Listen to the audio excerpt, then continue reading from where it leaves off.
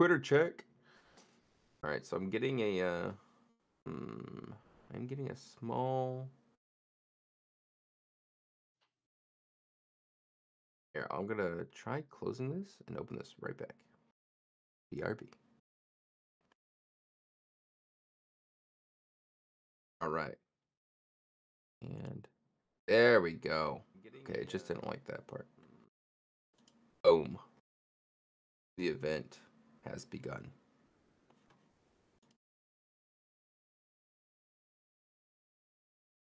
All right. Sorry, folks. I'm like tabbing around here, making sure we got everything uh, structured and organized. looking good. Looking good. All right. Let's get this thing. Uh, let's get this thing started. Uh, if you don't know, my name is Ryan. Uh, no autopilot. Turner. Let me turn on my camera for you so you can see my beautiful face. It's 5 a.m. here, so uh, mind the uh, the dark, moody bedroom here. But uh, but yeah, so welcome. Uh, today we are hosting a game demo day. Uh, what it is is a celebration of the various games that are building within the Gaming Startup Collective community. So, uh, speaking of which, we have a bunch of projects that we're going to be presenting today. Uh, we have Rob from Salty Sharks. Shout out to Rob. We have Gameland, Vincent over at Gameland. And we have Philip from Puzzled. And we have a few more uh, additional guests that are popping in here as well. Uh, we also have a group of panelists, judges. So these are folks who are going to be reviewing uh, the games that are presenting today. And at the end of the session, we're going to vote on what they find the most interesting or novel. Okay. And then the winner from today's session uh, and the other two session hosting later today will be piled into a, uh, a finale where we have a bunch of awesome prizes that we put together. Uh, speaking of which, we should probably take a moment to shout out all of our sponsors. Uh, let's start with Sequence, Sequence XYZ. Um, they have put up a handful of credits to their platform, allowing game developers to unlock like thousands and th- thousands of dollars worth of uh, uh, free uh, free access to their platform to build out their their game. Um, we also have Game Seven. So Game Seven came to us and put in a bit of money for our cash prize pool. So appreciate that. We have uh, Fluke from uh, Knights of the Ether, which is a Web3 game um, that is also kind of in uh, in the market for potential game dev support and help. We have Web3GG from Juan. Shout out to Juan. Of course, we can't miss Arbitrum, Arbitrum DAO, uh, giving our community a small grant to go ahead and uh, kind of build out our community. We got BlockSafe, uh, who provides blockchain technology uh, support. And we have Kalman's Forge, which is a Web3 VC idea house. The Roundtable, which does uh, go to market planning and game testing services. And the Blockchain Game Alliance, which is, you know, uh, the original home of Web3 game development. So, with all that said, let's go ahead and let's lay the ground rules. Each team is going to have 10 minutes to go ahead and present their game, at the end of which we'll field a few questions from our guest panelists. Uh, panelists, if you want to come on the stage, feel free. If you prefer and you're more comfortable in the audience, that's a-okay too. Um, so yeah, so we'll have each game present. At the end, we'll have a few questions, and then in the finale, our panelists will vote for what project they feel the most interesting or novel. With that said, I'm to mute. I'm to pass it over to Rob. Rob from Salty Sharks, take it away. Thanks very much, Ryan. Um, yeah, so I'll just do a share screen as well.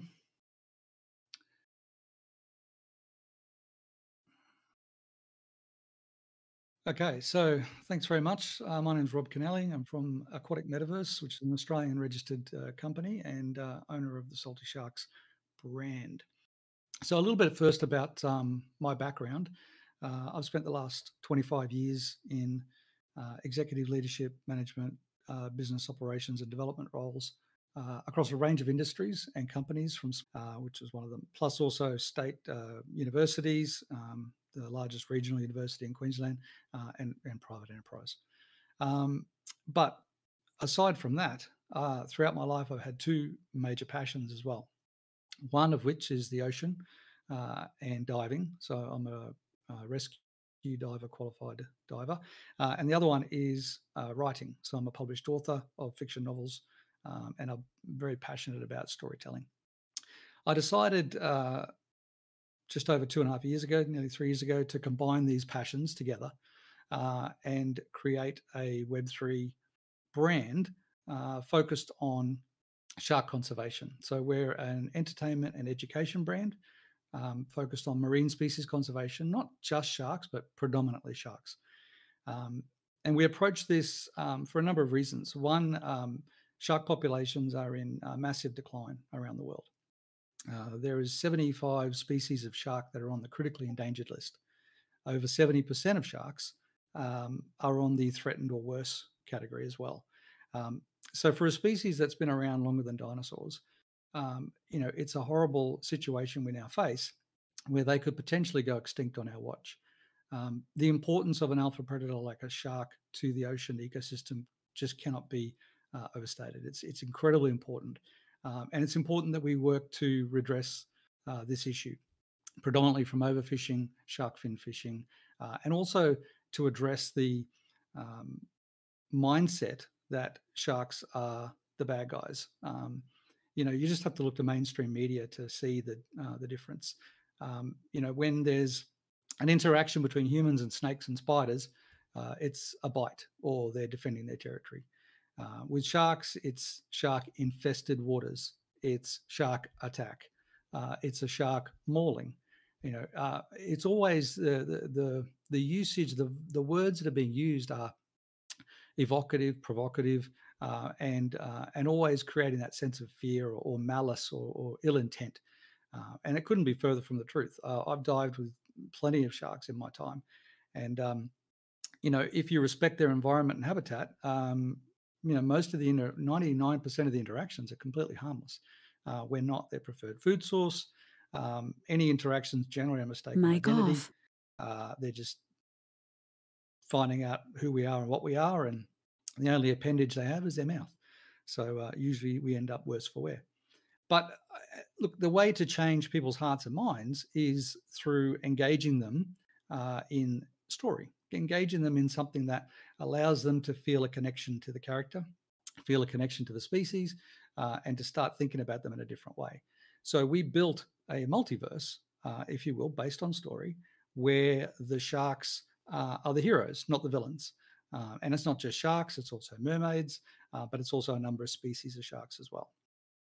And what we do is we weave that story, we weave that um, narrative, if you will, through all of the different elements of our entertainment products and our education products. Now, in this presentation today, I'm only going to focus on one of the games. We've got four published to date, but the flagship, if you will, is our uh, digital trading card game called The Uprising. So I'm going to take you through that. Um, but you know, I do obviously also want to mention that you know there is more to our brand than just the game. There's also our education facilities uh, in metaverse-based education facilities, uh, and also our conservation because we are partnered with uh, Fins Attached uh, in the US, um, and apologies, uh, and that is a um, a not-for-profit charity and research institute in the US uh, where we um, raise funds for shark tags for them when they go out and do shark tagging expeditions. Um, and they apply those sharks and we gather important information and data to help the conservation effort. But I won't go too much into that. I want to take you through uh, the Uprising game. So I'll start with the game guide and then I'll take you through some of the actual gameplay as well. So I just need to switch the window here briefly.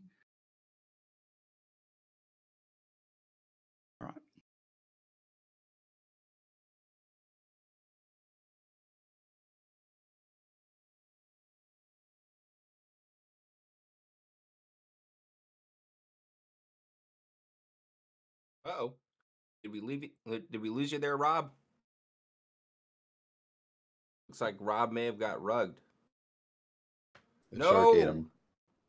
the shark ate him.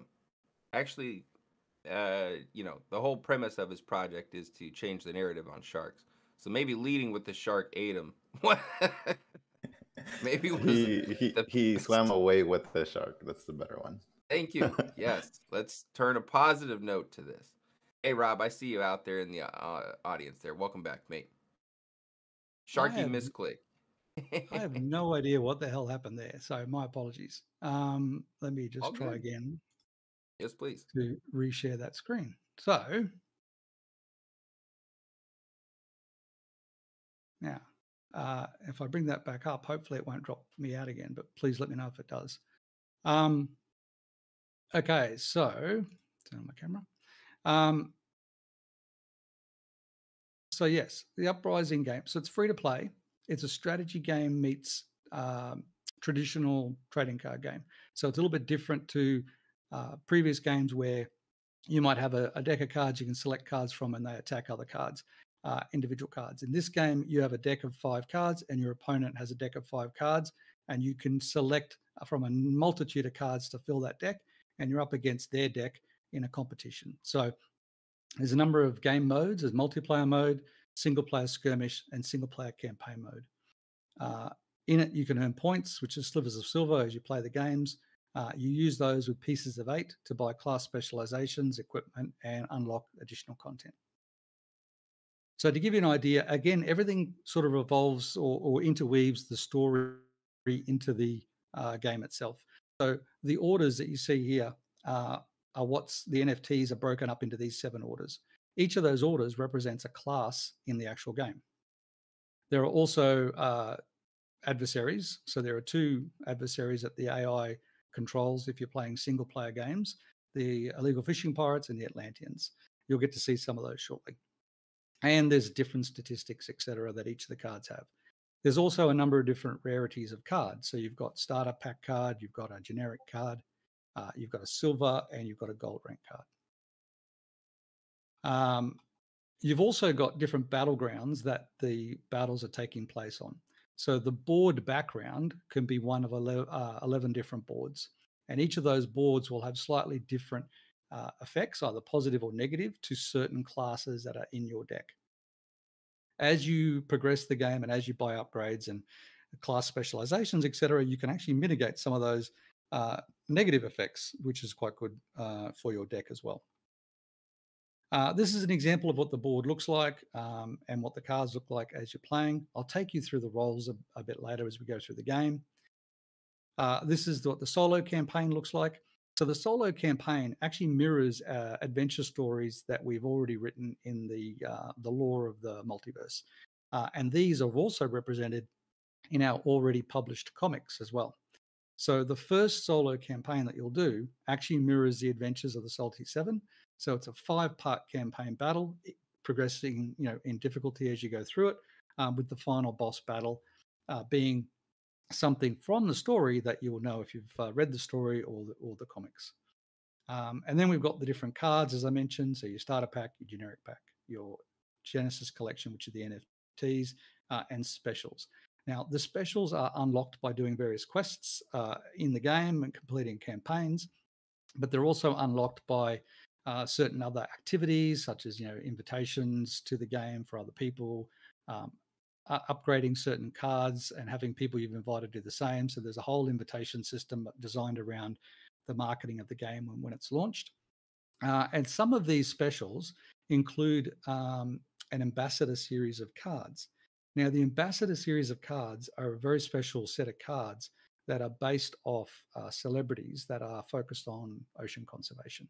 So we have um, one A-list celebrity who I uh, am not able to name just today, uh, who has signed on as becoming our first ambassador. Uh, their one of one NFT has been created.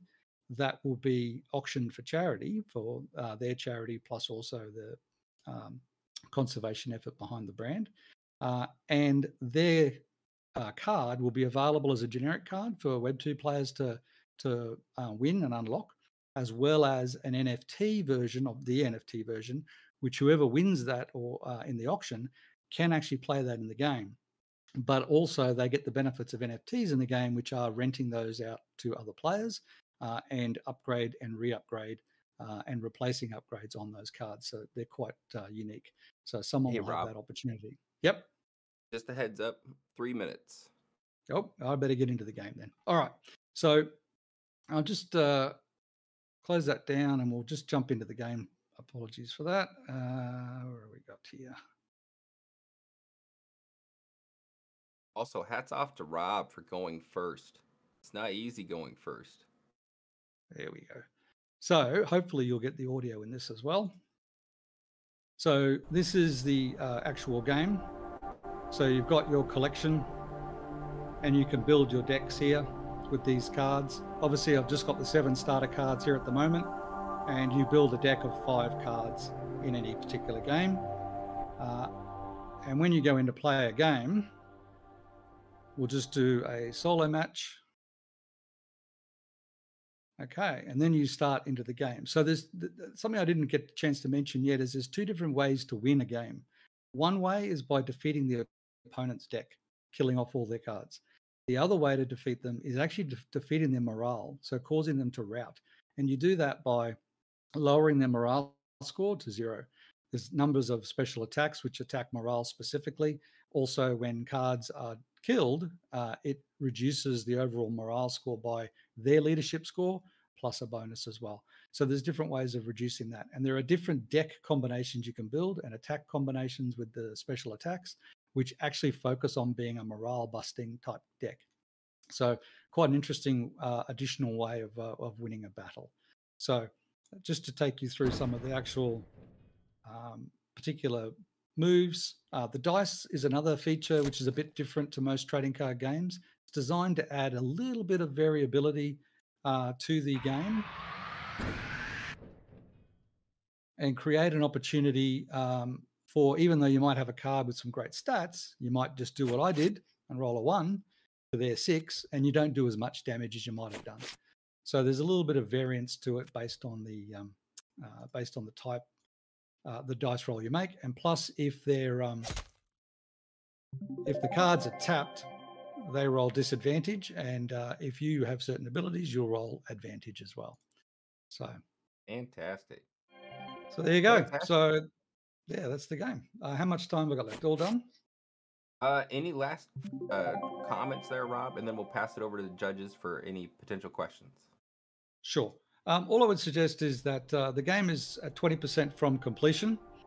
Um, we are we have a grant application actually at the moment with uh, Arbitrum uh, to complete the rest of the game and, and ready it for launch. So um, if people want to get involved, they can reach out to us on Twitter. They can join our Discord. See a lot more information on that on that in Discord. Uh, and obviously, we're open uh, to talking with any investors around investment as well. And thank you for your opportunity to present. Fantastic. So, folks, if you want to get in contact with Rob, I have all of his uh, contact information. It'll be distributed after the event. You can also catch him on our socials. We've been talking about his project quite a bit. So, passing it over to the panelist judges. Any questions, comments for Rob? This is from Matt. Which platform are you planning to ship the game on? Oh, um, so it's built in Unity, uh, and we are looking at uh, launching it on mobile and web-based, so Android, um, iOS, uh, and and web platforms. Obviously, we're open to Hyperplay or um, you know Steam and, and those sort of ones, but we haven't decided exactly on that yet. But it will be launched on mobile and web. Fantastic. Next question. And we're going to go rapid fire on these because we got five minutes to get through them here. Shy says, uh, Can you talk about the wallet experience that is planned? Yeah. So the beauty of the web, uh, the Web three integration of this is it's not uh, over, the top.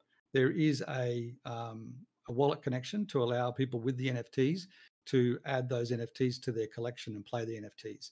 However, if you don't have any of the NFTs or you're not into Web three, there's no actual uh, requirement to connect a wallet.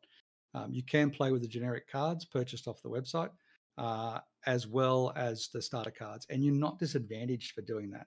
It is entirely possible to play the game and win the game and do really well without the NFTs, but the NFTs add certain benefits. such as being able to rent them and earn passive income and upgrade them differently and in different combinations. All right. I'm going to read the uh, the next question here, and then uh, gonna have to move on to the next game. But Rob, you could probably answer the uh, other questions you don't quite catch in the uh, in the chat itself. So Gaspode says you may have touched on it, but is it going to be gated and or Web2 login? It'll be email address uh, and password uh, will be the only um, barriers to logging in. So email address and password, and you can create an account. Fantastic. Rob, again, great job going first. Uh, takes a lot of bravery and courage to do that, and your game looks awesome. So it's a win-win there. Thank you so Um, much. Yeah. Okay. Moving on over. Next up, we have land, labor, and capital. Calvin slash DV. Welcome, welcome, friends. Can you hear us? Calvin slash DV. Are you out there? Yeah, I can hear you. Hey, hey. How are you? I'm doing good. Uh, Fantastic. Yeah. So I'll go ahead and I'll I'll hand it over to you. Um, so try and aim for about ten minutes to present. We'll do about five minutes of question and answers at the end. And uh, yeah, the stage is all yours, sir. Please please share your game with us. all right, sounds good. Uh, here, let me just share my screen. Uh, can everyone see this? Yes. All right. Uh, yeah, we're Land Labor Capital. We're uh on-chain tycoon game. Currently, we're on a bunch of networks: Arbitrum, uh, Polygon, and Base, Op BNB, and basically, the core gameplay of our of our game is expanding your business empire within the bounds of the game world.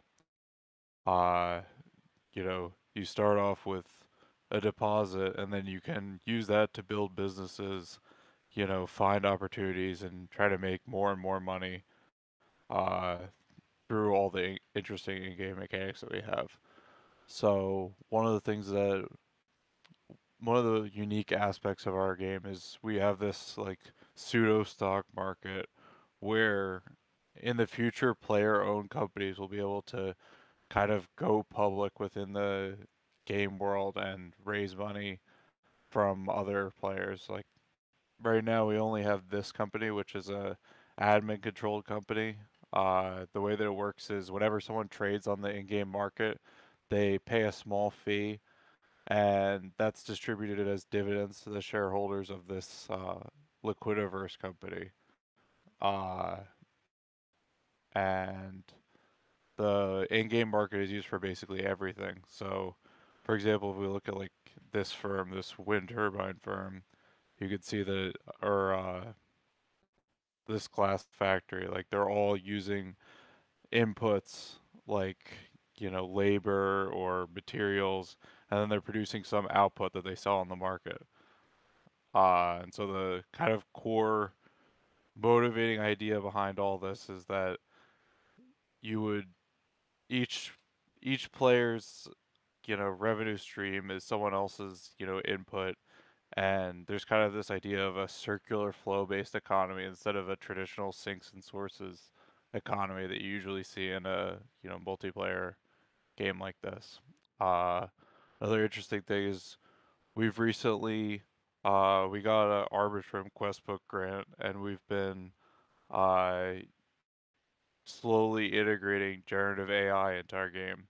So first of all, all these all these assets that we've been using for the firms and the land, they're all coming from Scenario, which is a basically a generative AI company that focuses entirely on making game assets and making game ready assets like stable diffusion and other like larger uh generative AI stuff can produce high quality content but it also it often struggles to make something that's visually cohesive with everything else that you have whereas you can see that scenario has been doing a really good job making like interesting and visually cohesive uh elements for our game uh also something we've been working on very recently, like within the past few days, is allowing players to create custom products. So if they wanted to uh, launch their own. If they had an idea for a product that people that the NPCs might want to buy, they can create it with uh, this UI. You know, add ingredients, set a R&D endowment. Uh, how the R&D endowments work is basically you stake a certain amount of our in-game currency, and then that's kind of treated as if it was constantly funding the research and development of the product, and so that affects its quality. Um, and you can see we've we've had more than a few people create custom products and try to sell them in their retail stores in game. Uh, and just very recently, we've integrated that as well with Scenario. You can see we have icons now for each custom product generated by Scenario. And we've really been focusing on modability and making the the gameplay experience extendable not just for you know custom products but also in the future entirely different in-game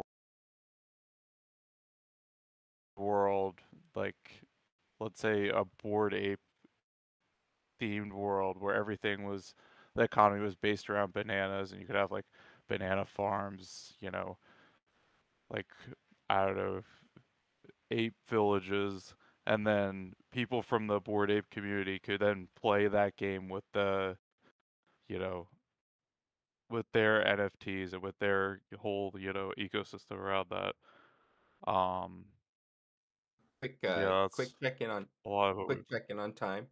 So you got Mm. uh, about two minutes, sir. Uh, anything else you want to share before we move on to questions for you? um i think i think i'm more or less ready for questions Cool. Yeah, I'll, I'll say uh, this project is super interesting. Um, we did have a question in the chat. Is it on chain? And if so, can you uh,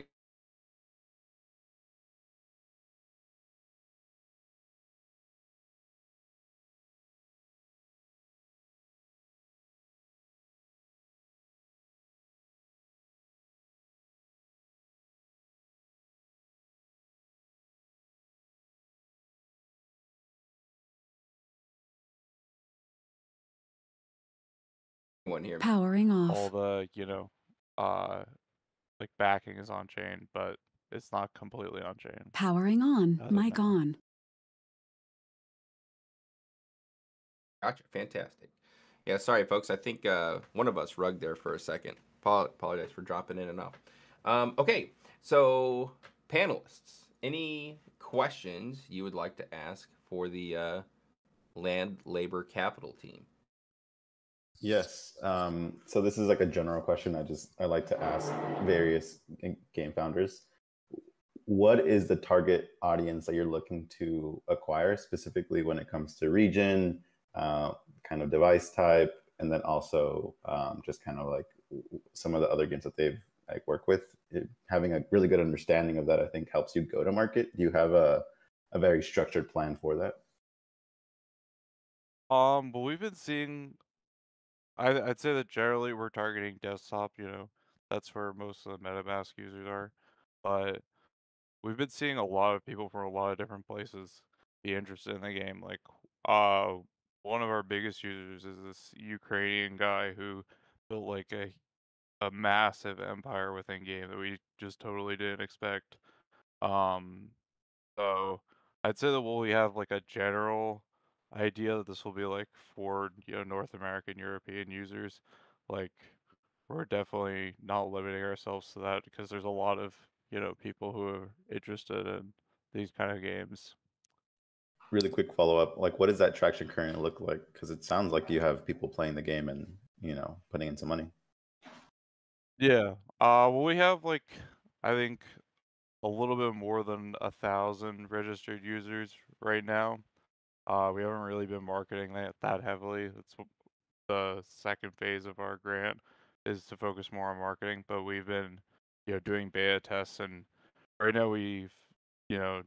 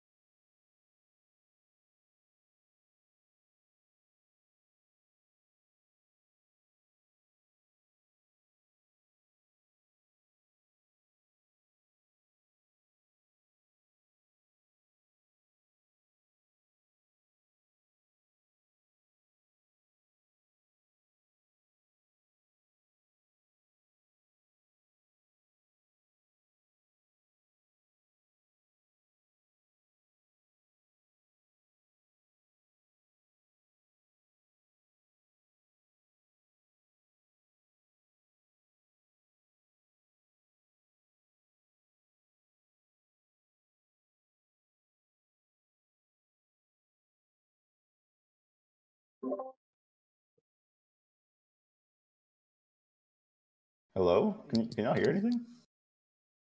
Everybody, just hang hang tight. I think the some audio issues there. We'll get sorted in a minute. Yeah, they, can you guys hear me now? You're back, Ryan. Woo! All right, let's power through before we get rug. Uh, so sorry for cutting that short there, uh, um, land labor capital. There are some additional questions for you in the chat though that we didn't get a chance to answer. Uh, so make sure we check in on those. And then Vincent from Gameland, you are up, my friend. Okay. So you can hear me, right? Yeah, coming through loud and clear. Okay, let me share my screen.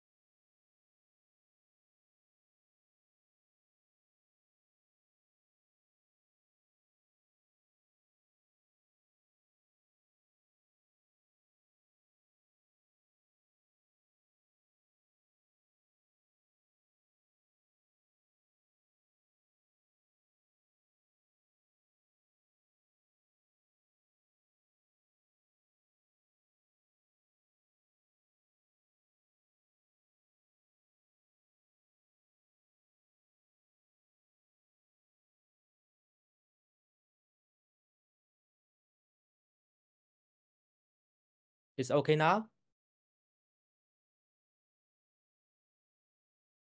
But okay. Yeah, yeah, I, think can hear you. Can you now it's okay. Now it's okay. Okay.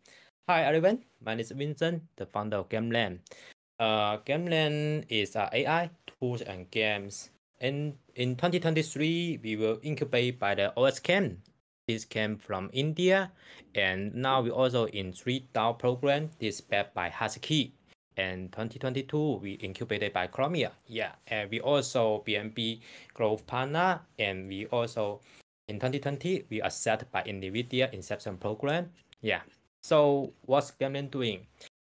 Gameland is a decentralized GameFi intelligent tools platform and O A and AI open market training AI for games.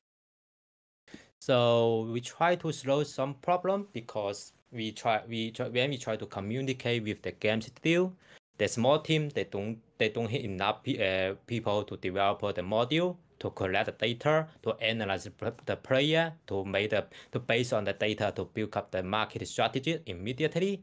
And the second part, the player there no place to find.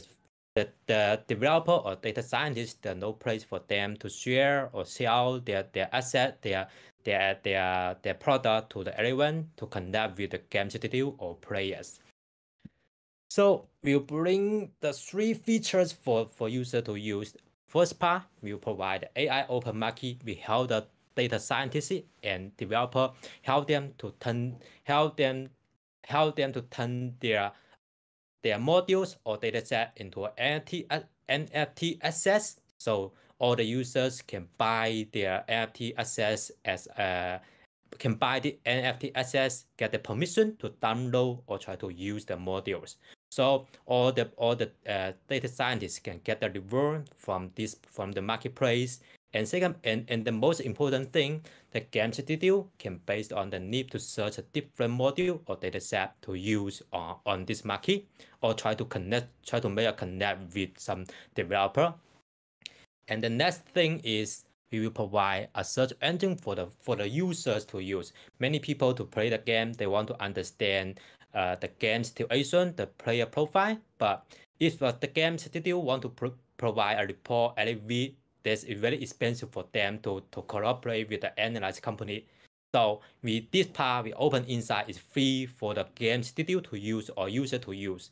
We can also allow you to compare with the different game in these tools so you can totally understand uh, the, the game data, uh, uh, the game data.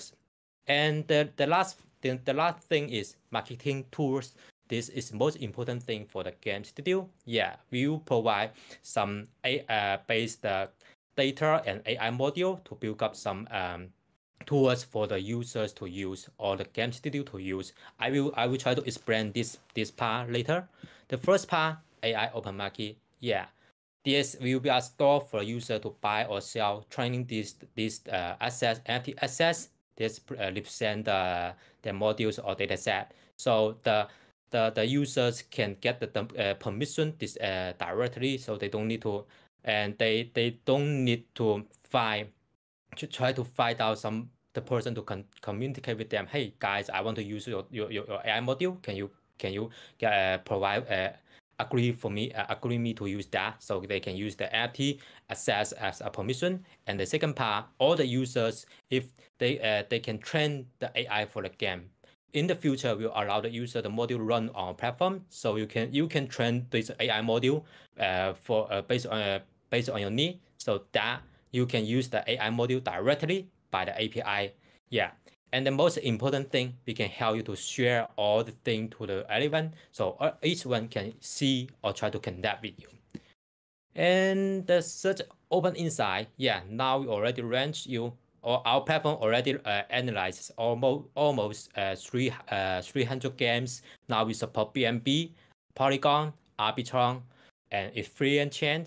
Now, it, uh, all the user can use this this this place for free. And in the future, we'll will based on this data try to build up the GameChat.ai. This tools to help you to develop the smart contract. This can help the traditional game studio to slow the slow the time uh, to slow the time to learn how to develop a Web3 game. I will I will I, I will I will show the video uh, in, uh, later. Yeah. This is our marketing tools. Now, in the future, we will provide the GameChat AI. This will help you to understand your your the game studio need to help you to, to help you to develop the smart contract and help you to develop, deploy all the smart contract on chain by one click buttons. And the second part is AI advisors. This is for the game studio. Yeah. And and the and, and the third is game chat block. This we will help you uh, the, the, the game still can use the game chat bot as an NPC for the user to use. They can ask the question for them. Maybe they can set the different uh set set set uh the some uh NPC question for the user to ask. Maybe they can get also can uh, send the reward to the user directly. And the last one is game assistant. This is most important thing.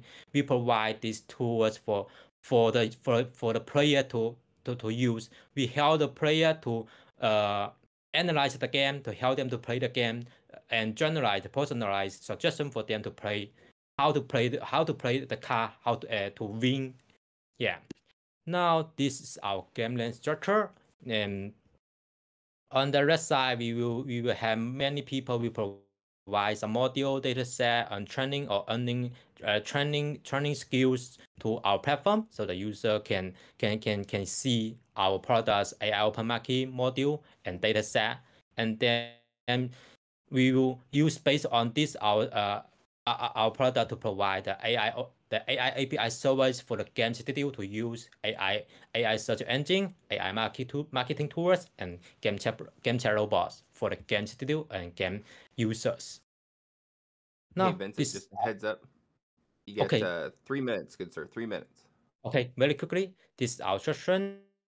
And now we already have some 33, 33 partner analyze uh cooperate with 40 game studio and we have some revenue. Yeah, this is our partner. We collaborate with Alice Matrix and Homies and the other game. We, we also collaborate with some uh excellent uh, platform. Yeah, this is our team. Our team have four years have have have, have a rich is uh, blockchain experience, and we totally understand the blockchain game and community, and we also have uh, uh, understand the DeFi DeFi product and GameFi products. And yeah, la- last year I was uh, GameFi in 2021. I was the DeFi product founder and a staking staking product. I we have spent amount to stay 1 million 100 millions on, on our protocol yeah this is our team sky is data expert and Iris is our cmo yeah link is our backend en- engineer yeah this this our try to raise seed 4 millions provide 10 percent token yeah this is our token economy okay that's all i skip the token economy yeah Yeah, so so two things that stood out to me on on Vincent's deck when I looked at it is number one, uh, revenue generated. That was uh, I think it was a hundred thousand dollars, which is fantastic, no and it Oh, isn't every actually- day.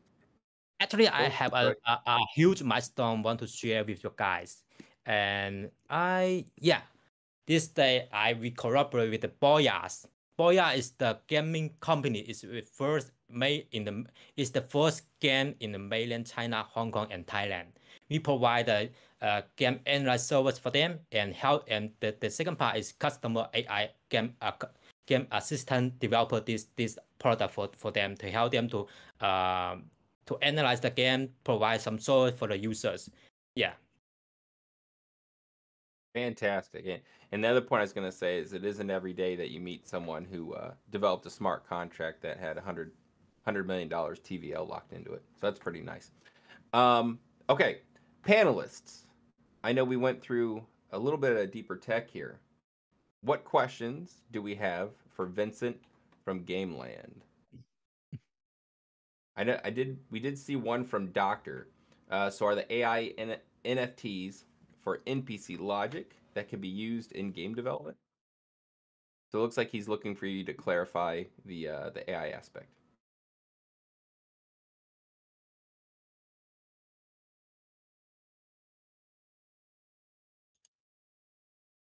Vincent, you still there? Or did I Yeah. rug? Okay. Cool. Okay. Thank gosh. Yeah. I try to see the questions. I- I'm waiting. I'm waiting for the questions. Yeah, actually, I, I let me see. AI AI open market slow the problem to address how to create AI logic. Yeah, AI open markets we help the user. Maybe I I can share my product, my product, my product, my product. Wait for a minute. My test net.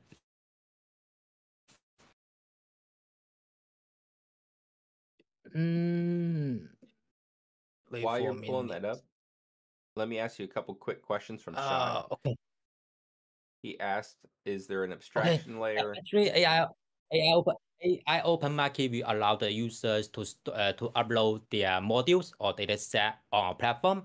We help them to generate gener- uh, gener- uh, generate uh, a NFT access uh, access. So the user they can buy the NFT as are authorized. So they can use they can they can they can use the authorized to download the module or try to train the module so they can they can get the reward from the from from the pro, uh, from the developer or from from gambling uh, platforms yeah and in the future we'll have a lot of milestones to do but the the base the base version now we provide the user to share or sell their their their their their, their reward for the user to, to the game studio yeah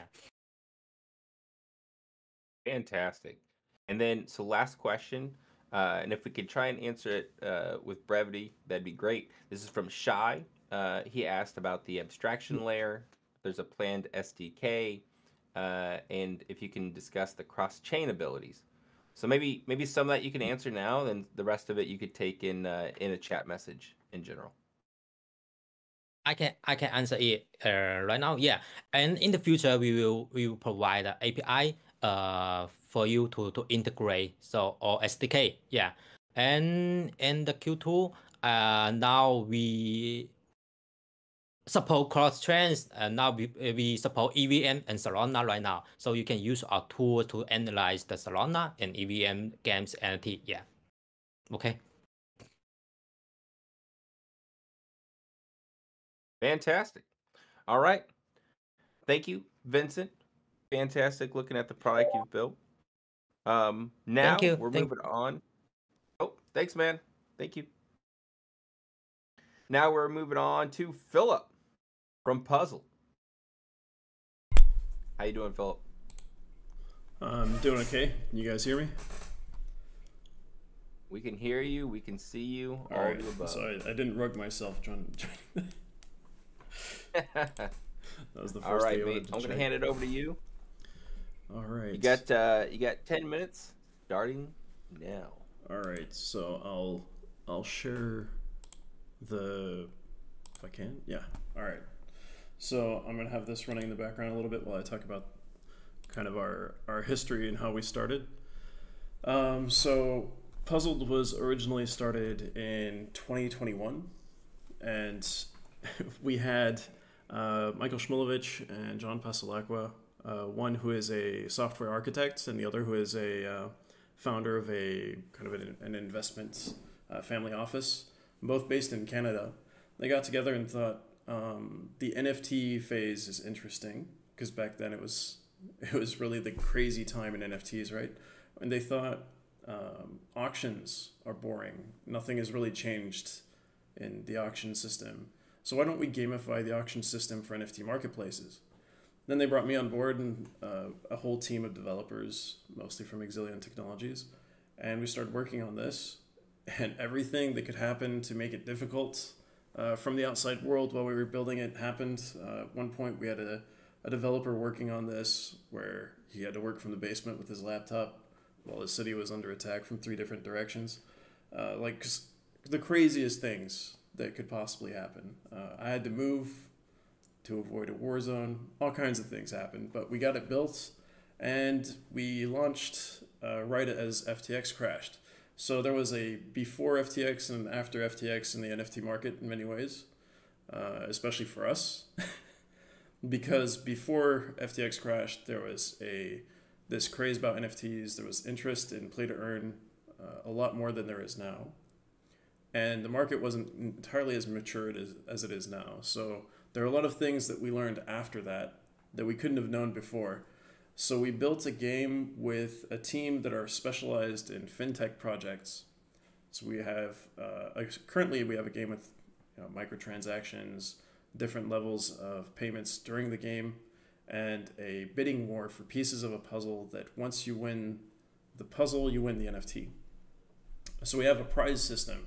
And as all this kind of uh, everything hit the proverbial fan in the NFT space, uh, I then had to go through and find out uh, how we could possibly fit into the new dynamics within games, within the NFT space, and a broader uh, what exactly fit we could have. So it's interesting because I'm coming to you guys right now where we're pivoting from being an NFT marketplace with a gamified auction system to being a game platform where you can win prizes playing games. And the main reason we uh, we started moving that way is after talking with uh, a lot of founders of collections and a lot of games, they found it interesting to be able to propose NFTs or other prizes in a game and have their their game assets something that you can win in another game. So it's uh, bringing your game assets to other people through another game. So the more games, the the merrier, I guess in that sense. So that was an interesting uh, realization. But this is just to show that we were able to build something and we did get something out there. It, this is live right now on puzzle.space. You can go check it out for yourself if you're interested uh, in playing a game and perhaps even play against each other. We have Discord integration actually, where you can talk with the other players while you're playing. Uh, that was really fun to test. We managed to test the game before we launched with uh, a group of investors to see what their interest was in kind of the more speculative side, and a group of kids, like uh, 10 to 12 year olds. And the feedback that we got from them, because they were on a call, is what caused us to add Discord integration. So you can yell at each other during the game, be like, oh, why did you take that piece? And that sort of thing. So we have this whole kind of test until you perfect the project. Um, the current game doesn't have any game breaking bugs, so we've tested it thoroughly. which if we hadn't, maybe we could have launched before the market changed. But now we're looking to pivot, which is what I was going to talk about next. Here's the team. It's Michael Shmulevich, John Pasalacqua, myself, and then our designer, business analyst, systems architect that jumped on. Um, and what I wanted to show you is we're, we're now looking at making more traditional games where you don't have to go through a, uh, a document or a tutorial like the one I showed you before to understand how it works. So we're trying to come out with four new games this year, a racing game, a tank game, a runner game, and a first person shooter, where the first two that'll come out will be scoreboard based. If you're at the top of the scoreboard within the amount of time that the prize provider for that game uh, sets in the parameters, then you win uh, the NFT, or we're planning on expanding it to also include Steam games and things like that. The current game, by the way, is on Ethereum. Like you can have Ethereum NFTs and Polygon NFTs using the Matic currency for the games. And we're going to add Arbitrum shortly, as we just got an Arbitrum gaming grant. Thank you for that, by the way. Um, and so, yeah, these are kind of the games that we're looking at adding. And we're also planning on expanding the prizes, like I was saying, to game codes from, for example, Steam, uh, special deals like coupons and things like that, uh, potentially even digital currency, and obviously tokens like we have had so far, NFTs and things like that. And we're planning on doing a lot more marketing Hey, moving Philip? forward. Yeah. Oh, just quick, quick call on time. Got a couple, couple minutes here. Perfect. Um, just want to make sure you have enough to, to hit any any last key points for folks. All right. Uh, so right now we're working on building the racing game. Uh, tomorrow I have a call with a game development company that we're partnered with to go over uh, some of our initial uh, specs. It's the third iteration of our like improving on on the idea and kind of zooming into how to build it. So we're working a lot on the idea. So when we actually go to build, it'll be uh, faster, cheaper, and more efficient. So building mini games, and then the goal is for these to be utilized by other games and third parties. So eventually, we want to have an API where they can integrate it white labeled into their system. For example, if you have a game and you want people to win uh, game assets through another game, a mini game, you can integrate our mini game, and uh, people can win your assets there. That's one of the uh, use cases that we're looking at providing specifically for that. So yeah, I think I'm I'm very curious about questions, to be honest. Fantastic, yeah. So it looks like my uh, my video might be rugging, but my audio seems to be fine. So I'm gonna read uh, read a couple of these out. Um, let's start with Matt. Uh, will the different games share an art direction slash a setting in particular? So right now, um, right now, I would say no. but uh, ask me again in six months, and I'll I'll have a clearer answer. I don't think so. Is probably the best answer I have for now. There there is potential for that to, for it to become like a game universe, but right now we're just uh, building the first one. So we'll see if there's a something that really ticks with uh, with people, really checks all the boxes for that, and then we'll implement it throughout if it really makes sense. And eventually, we want to upgrade the games where you can modify them a little bit for, especially for integrating inside your own projects. Perfect. All right. So I'm gonna hit you with uh, at least two more questions, and then we need to move on to our next game to to try and uh, keep on with time here. But Yeah, of course. From JRP, uh, ecosystem plays seem to be a trend. Will you allow for games to be added, or will they only be added via your team? So games, as in uh, different games from the ones that we're building. Is that what you mean? Like third-party games?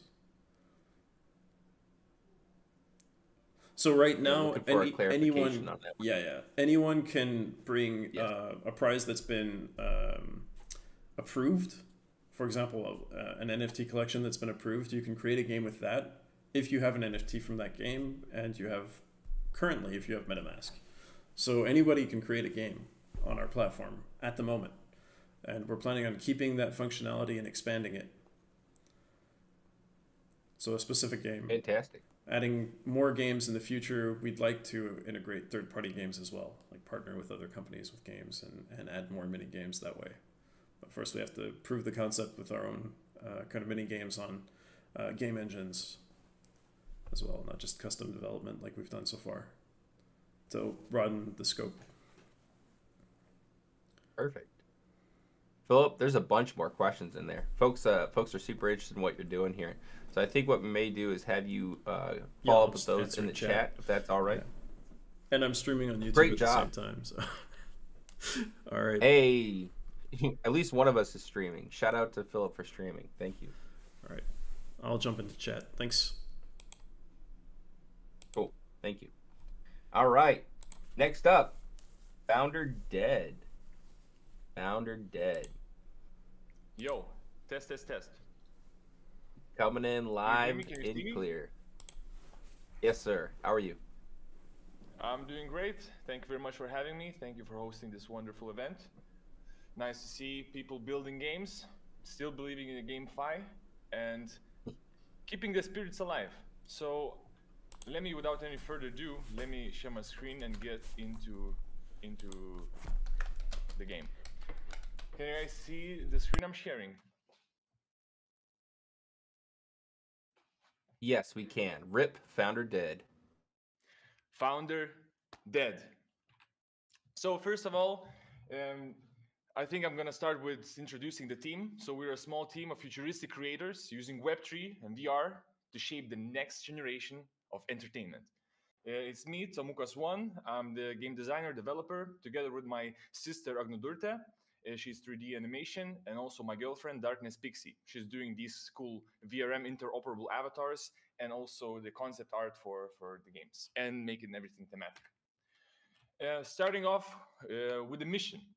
Uh, we have been in in the Web3 space trying to make games and everything for a couple years uh, now, and we just found that it's it has bad reputation from Web2 world. People think it's just Ponzi games and gambling, and honestly, it's true. Like this is not just a misconception; that is true. And we've been trying to evade that thing, uh, trying to create different games while leveraging, leveraging tokens, and found that it's just not happening. And so we decided to with this game, we decided to move into a bit of a different direction and try to portray Web3 in a positive light and use this game as a way to get some adoption from Web2 world to, to kind of uh, destroy this illusion that Web3 always just gambling and scamming.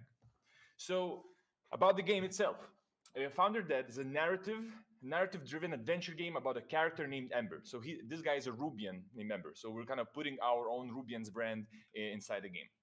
He's on a mission to revive an NFT collection after its original founder has passed away. Uh, so basically, it's a um, it, it's a kind of like a satire comedy game where um, if you know the popular meme that um, when a collection mints out, right? A collection mints out, and there's somebody in Discord writing an announcement that oh, unfortunately the founder has died, right? So a rug, and and basically in this game there's a fictional NFT collection, um, which uh, this Ember guy has overinvested in, and when the founder was found dead, uh, he decided to turn this around and try to derug the collection. So I want to give a little bit of, of a demo here. Uh, let's see if this if this is gonna load up. All right. And um, yeah, and let me know if it's if it's gonna lag for you in, in the stream. Then probably we'll have to uh, to, to skip it. But I'm staying hopeful. So please give me a second. Okay, cool. Looks good so far. Okay, if not lagging, right? If if everything's okay. Nope, we're good to go. Very good. So, a great tragedy has befallen the Ruby world. Founder of the most hype NFT collection of the year, Poopy Boxers, has passed away. Coincidentally, he died right after the collection had fully minted out in a record breaking time of 42 seconds.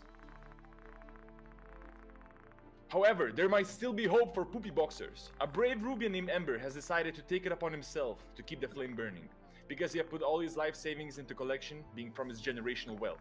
For Ember, it's do or die. There is no roadmap, no plans or schemes. To succeed at turning Poopy Boxer's hype level to the max, he will rely on vibes alone. LPG. And basically, you're just walking around, interacting with different things. See? Press E to see the burger.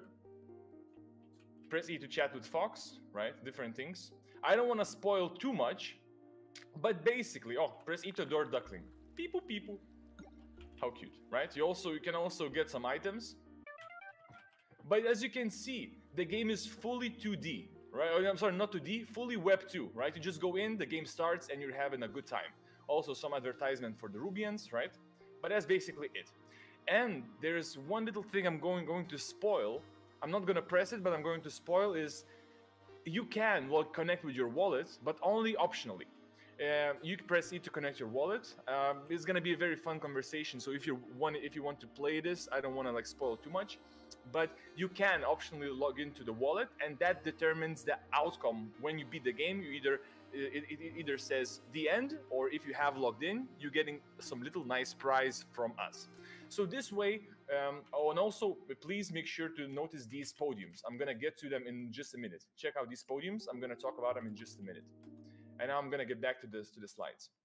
So, um, um Oh, so basically, time. yes. Heads up on time. You got about uh, four minutes. Cool, I have uh, that's plenty. So people want to learn, but they hate learning. Uh, through storytelling, uh, like we, uh, through the jokes, right, and, and plot, we want to tell people how NFTs work, about wallet security, so um, and also explain through these quests about Web3 culture. So there's like you talk with people, complete the quests, get some items to them, and then you eventually find out find out find out some big uh, plot behind everything. And so like we want to like get this as a kind of like an educational tutorial game. Uh, we uh, this game we participated in December in the Solana's game jam uh, called Speedrun, and we won the popular vote. People really liked the game. We got some raving reviews, uh, and we decided to move al- along with it to try and make it into something a bit bigger. For the monetization part, uh, while there's not going to be any like tokens, NFTs, like part of the game influencing the uh, the gameplay in any way, those podiums that I uh, showed you, right? Those podiums, we are we want to put in 3D NFTs of uh, ecosystem artists inside the game and use this game. So this like it has like what 10 minutes of gameplay, right? And we want to use the game as a curation platform. So we want to get 3D artists to place their 3D NFTs right and people are just invited to play like the game is like the marketing right people go uh, to play the game while they also can just move around if they find a 3d piece that they like they can just press then connect to the wallet and then mint right but without that they can just fully play through the game and just get um and enjoy the free experience right and get this the vilification of the mis- the, the villainification of web3 so and also, yeah, we want to sponsor the Rubian holders. So who, those people who have Rubians, they get priority to list their 3D NFTs in our games.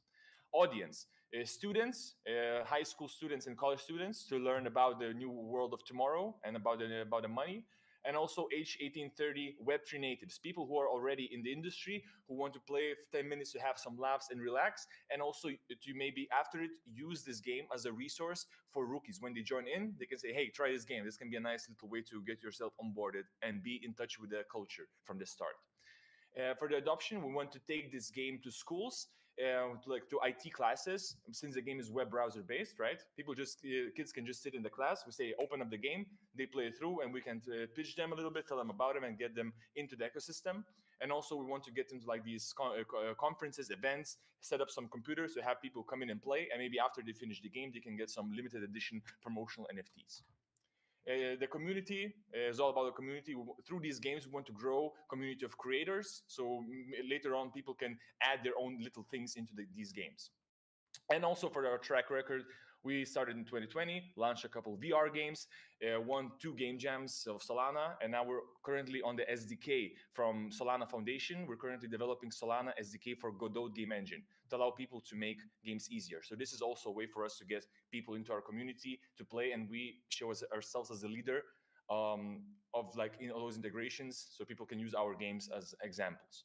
Yep, and that's gonna be it. Uh, so yeah, thank you very much, and I'm turning off Fantastic. this screen share. You did great, man. That's uh it's funny when uh when a game's IP just like reaches out and grabs you by the shirt collar. Uh you did a great job there. Uh all right, panelists. Questions. Questions. Hit us up here. Let's see here. Uh Matt, uh you mentioned VR at the beginning. Can you elaborate on that? Um, yes. So, so thing is, Uh, I've started my let's say game career um, through VR. Um, I was fully into into VR. I was like, classic gaming is dead. Uh, after playing some VR games, I was like, there's no way I'm going back to playing computer games. So I've like spent like what five years developing VR games, learning about the multiplayer, everything. And then I found out about NFTs through like VR, then metaverse and NFTs, and I got into sucked into this wormhole of NFTs try to make a game integrating both VR, V Sports game with NFTs, but that is like too niche, too niche audiences, and it just wouldn't work. So right now, what I'm doing is I'm setting VR a little bit aside, focusing on NFTs. But through these NFTs, as I mentioned before, avatars, right? We want to upgrade our NFTs to fully v- uh, interoperable VRM avatars. So and this is going to be our re-entrance into VR, right? So avatars would go to VR chat. We use VR as pro, uh, for like marketing, for posts, for promotions, and stuff like that. And eventually, we're going to get back to integrating NFTs with VR when the time comes. So for now, we're just going to be like teasing, spoofing, showing, and doing things like that. Very good, very good. Let's see here. Shy uh, asked the engine slash tooling used. And I think you may have just Yeah, covered right. that, but anything else you'd add? Yes. So for for engine, yeah, we I, I already told you it's Godot, and the thing is that I've been on Unity for what eight years now, and since this disruption with the new fees thing, right, where people got re- really mad uh, about Unity, I decided this this could be a nice opportunity for me to try out Godot. Um, but for, unfortunately, Godot didn't have any Solana SDK, so I found myself a teammate who was doing something on Godot, and we applied for the foundation grant. We said this is important. We need to go to Godot and they said sure go and try that out. So basically we're using our own tool right? We're using the tool and creating the games using it as like a for testing right? So so yeah and it's actually like we're moving along pretty well. Uh, since since the game has been made we've added like candy machine so people can mint their own collections. So i think this can be a nice entrance for gamers uh, to oh, i'm sorry for new game developers uh, to use the sdk that is to go to godot and use the SDK only for minting their own collection, right? So because currently minting is really boring. You go to like some website, there's like one description, picture, and mint now, right? And we with it we, we can want uh, we want to say that go try Godot, right? Get 3D, 2D, whatever, mix it up, make it creative, make it fun, and have minting experience be interactive. So yeah, this is kind of where we're going. So we're both doing SDK and the games. And like we, uh, one very important thing that I I wanted to say is that the the name of the game is to be nimble and fast and make uh, short-term games games that like you can just play through and move on because people don't have the attention spans now to sit on like card games mmos and everything. So our kind of mindset is to do a lot of uh, little games that last for a short amount of time and focuses on brand. The brand always has to stay there. So whatever games we make rubians rubians this rubians that. And so the games can live and die but with every little failure or success we have rubians only go up so yeah Fantastic. And then, uh, so we got a couple more questions, but this is a good one. Uh, JRP, how do you plan on making money with this uh, particular endeavor? Yeah, very, very, very good question. So, um, our games, as I said, I mentioned I want them to be free. So, um, and I mentioned that we want to have like three artists um, showcase their artwork, and we have our, our game as like the curation. So, of course, it would take some sort of a cut, right? We we bring the soul to those art pieces so that they're not sold on random marketplaces. They're sold in our special game, right? So we, of course, take we would, we would take like what five, ten percent from their purchases. This could be one way of, of making money. And additionally, even though we don't want to make money from the game itself, we want to make money from everything around it. So I would like to make NFT merch, like furniture, which people can buy buy as like NFT furniture and place it in their what three land rooms or whatever um, uh, platforms like for web3 social platforms you may have right so like promotional nfts um, um, furnitures some fun things collaborations with others so we want to make money from the brand itself not from the game Fantastic. Fantastic. All right, folks. thank you very much for your Uh, time Thank you for presenting today. It's really cool to see your project. Thank you. All right, folks. So we have one other guest set to present now, but I think there may have been a scheduling mishap. I do not see them on the stage. So we'll try and get them scheduled for uh, for another session later today. Speaking of which, we have two more sessions. Uh, so at 8 a.m. Pacific, and at 11 a.m. Pacific, we have another, gosh, at least 11 teams, maybe 12 teams. Uh, so make sure you're tuning in for that. It'll again be hosted in the Discord, hopefully with less technical issues. I want to give a quick shout out and thank you uh, again to all the games who have presented today. You could be anywhere in the world, but you decided to take time and share your project with us. Thank you. Same thing for our panelists. Uh, again, you could be busy at work taking care of things, but you chose to be here to support early stage Web3 game builders, and we appreciate you for that. And of course, all of our sponsors. So, Sequence, uh, Knights of the Ether, Game 7, Arbitrum, Web3GG, Blockchain Game Alliance, uh, BlockSafe, Kalman's Forge, the Roundtable, and all the different prizes that they've put together for these teams to compete for in our uh, in our demo day finale. With that said, panelists. So let's see, we got Matt, we got the Dragon, we got Doctor, we got Max, we got JRP. Hopefully, I didn't miss anybody. If you can, go ahead and drop your vote for what you felt was the most interesting or novel project from this first session. And to help you, because we've seen a lot, I'm going to type them out again. Okay. So you have The Uprising. You can go ahead and react to these if that's easy enough for you. We have Land, Labor, and Capital. You have Gameland. You have Puzzled Space. You have Founder Dead. And finally, oh, actually, that is it because the last person we need to get booked into a different session. Okay, so uh, panelists, if you could either jump on stage or uh, react to these with which one you felt was the most interesting or novel.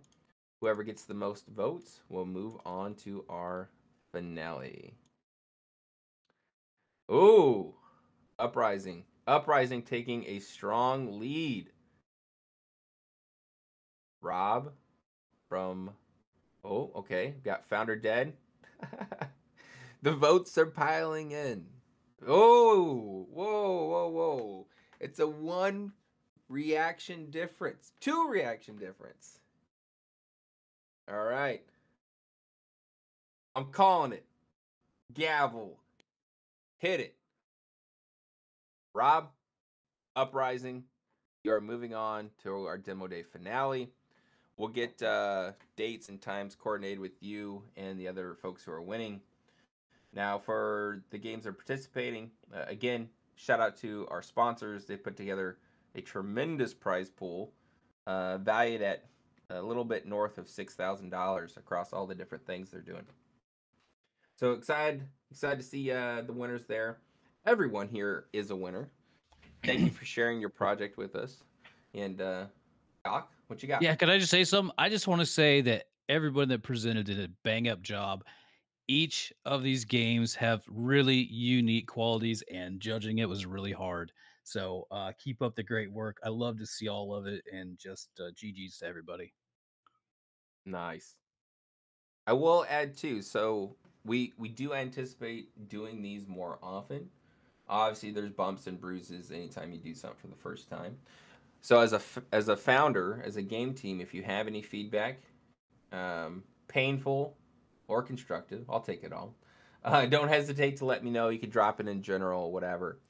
Um, for the VC panelists, folks who have money who are looking for nice places to put it, there will be a uh, document shared after this with all the teams, their contact information, decks if they're raising, all that good stuff. But that's it. I won't drag it on anymore. Appreciate every last one of you. Thank you for showing up to our first ever game demo day. And we will catch you in about an hour and 45 minutes